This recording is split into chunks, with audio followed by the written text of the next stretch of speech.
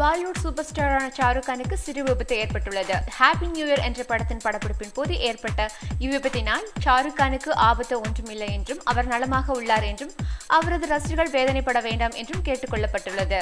ஷாருக் கான் நடிப்பில் மாபெரும் வெற்றி அடைந்த ஓம் சாந்தி ஓம் படத்தின் இயக்குனரான பரத் கான் இயக்கி வரும் புதிய திரைப்படம் ஹாப்பி நியூ இயர். இப்படத்தில் ஷாருக் கானுக்கு ஜோடியாக தீபிகா படுகோனே நடித்துள்ளார். பிரபு தேவா இப்படத்தில் கௌரவ இடத்தில் நடிக்க உள்ளார் ஷாருக் கானின் சொந்த தயாரிப்பு நிறுவனமான ரெட் சில்லிஸ் தயாரிப்பு நிறுவனம் சார்பில் கௌரி கான் தயாரித்து வரும் இப்படம் நகைச்சுவை த்ரில்லர் படமாகும். இப்படம் வருகிற தீபாவளியை முன்னிட்டு அக்டோபர் மாதம் வெளியாகும் என்றும் எதிர்பார்க்கப்படுகிறது.